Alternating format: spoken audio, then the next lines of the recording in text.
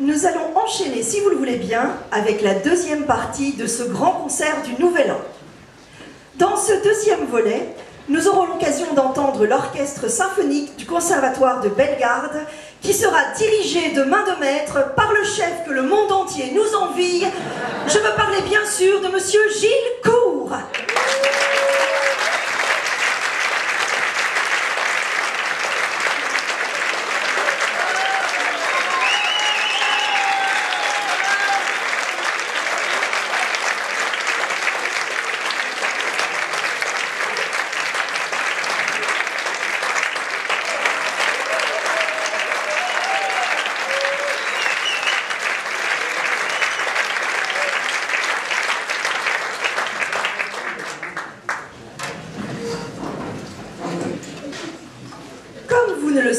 peut-être pas, Johannes Brahms a composé 21 danses hongroises.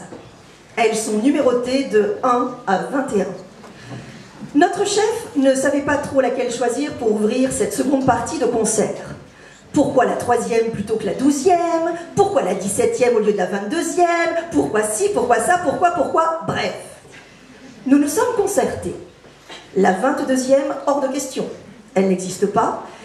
Et vu mes talents de compositrice, il vaut mieux pas. La troisième, bof. La seizième, pff. Étant donné que nous sommes en 2018, on a réalisé un petit calcul. On a pris le dernier chiffre de l'année, 8, comme c'était le premier morceau à jouer. On a retiré 2 à 8. Pourquoi 2 Parce qu'on était deux à décider. Ce qui nous a donné 8 moins 2, madame 6. Quel talent. On a ensuite retiré 1 parce qu'on est les number one. Ce qui nous donne 5. Il ne restait plus que le 0. 5 moins 0, 5. Oui, madame, on aurait pu retirer le 0 en premier, mais on n'est pas des nuls, donc on a préféré retrancher dans cet ordre.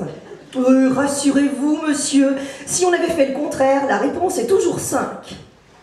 Nous écoutons donc la danse hongroise numéro 5 et tout le monde sait pourquoi maintenant.